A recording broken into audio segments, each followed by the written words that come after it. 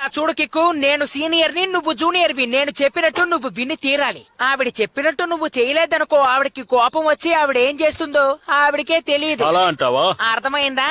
అందుకని మర్యాదగా ఇక్కడి నుంచి వెళ్ళిపో.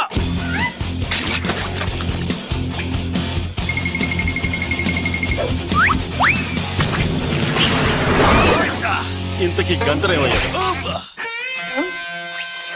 టేస్ట్ బాగుంది. ఇక్కడ పరిస్థితుల్ని నేను చూసుకుంటాను షానన్. మీరేమి బాధపడకండి. వీళ్ళిద్దరిని నాకు వదిలేండి. వీళ్ళిద్దరికి నన్ను చూస్తే భయం. భయం అంటే ఇది?